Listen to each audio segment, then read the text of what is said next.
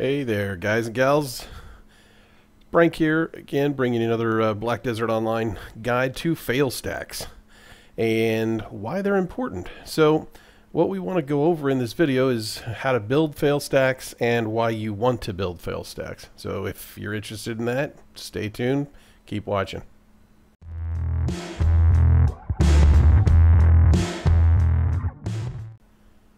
All right, so what we look at when we're looking or talking about fail stacks is we need to build fail stacks, which means failing on stacking two items together or putting black stones into armor or into weapons. And the reason that we want to do that is because the higher fail stack we have, the higher plus or increased percentage chance we have to succeed on our next try to combine two things.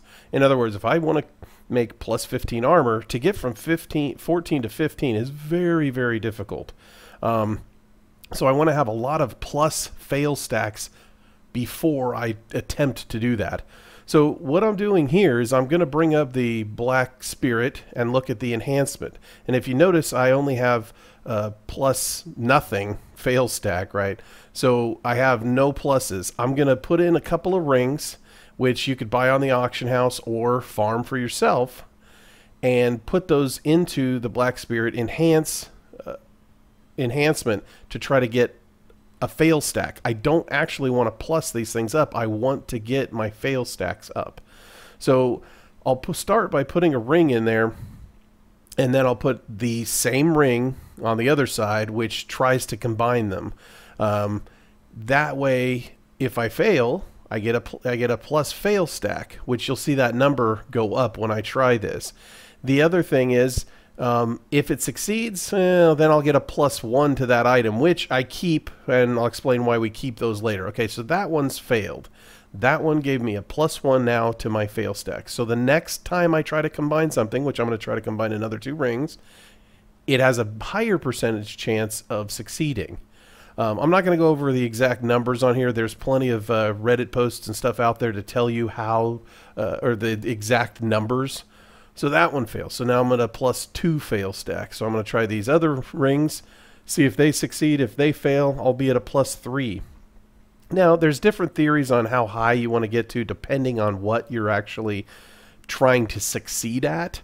Um, rings are, uh, from what I've read and what I've encountered in the game, the best way to succeed at getting fail stacks and then, you know, try to apply a plus to your armor or a plus to your weapon. So, um, get those fail stacks up before you try to put that blackstone in your armor um, after a certain point. And I'll try to post some of those uh, numbers in, at least the basic numbers, in the uh, description for this video.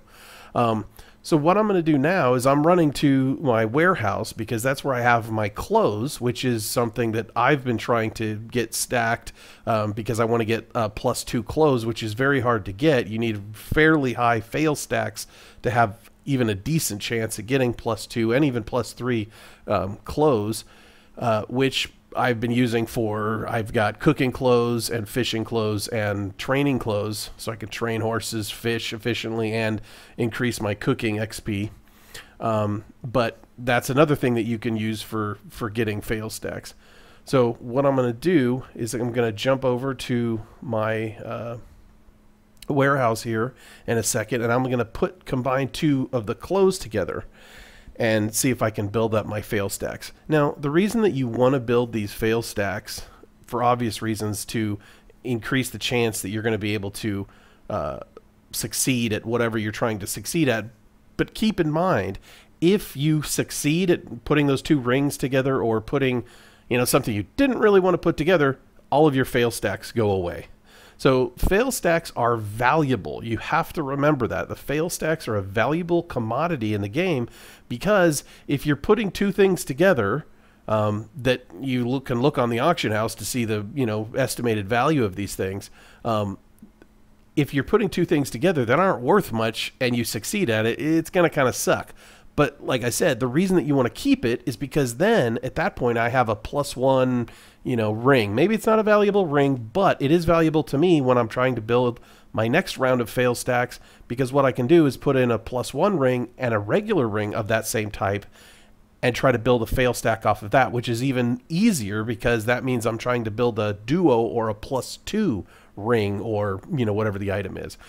So it's important and and you got to remember what your fail stacks are and like i said on that enhancement window it tells you exactly what your fail stacks are, are on that character and it's independent of of account it's per character so you might have an alt with 20 fail stacks whereas your main character or in any other alt only has zero or one. So it is per character. And in fact, on the character screen, it does show you the amount of fail stacks that you have on a character so that you so it, it kind of helps you to remember if you forgot where you have a lot of fail stacks on or what account or what character you've been using to build fail stacks on. So um, keep in mind when I'm plussing these clothes or trying to get plus one on these clothes, um, those are fairly difficult to get plus one on them, but they're very expensive. The reason that you want to use rings and jewelry at first to, to build your plus stacks up is because they're usually generally cheaper. You can find rings for 30,000, 40,000 in you know in between the 30 and 50,000 silver range whereas clothes for the most part the cheapest I believe are the fishing clothes and those are about 100 to 200,000 I think yeah about 200,000 silver each so it's probably not good for me to actually be trying to use these clothes at, a, at only a plus three, but you know, whatever. I'm going to do it anyways. And I'm trying to build these fail stacks. I fail at that one, and then I put my cook's clothes in there, and I actually fail at those as well. Um, you'll see that in a second. But the reason that I'm building my fail stacks up is I'm trying to get, like I said, the plus two on the clothes um, that I'm using because it gives you a little bit better bonus. And I'll probably go over the clothes in a completely different video. Um, I was actually thinking of doing it in this one, but I think it makes more sense to kind of spread them out. So I'm just going over fail stacks.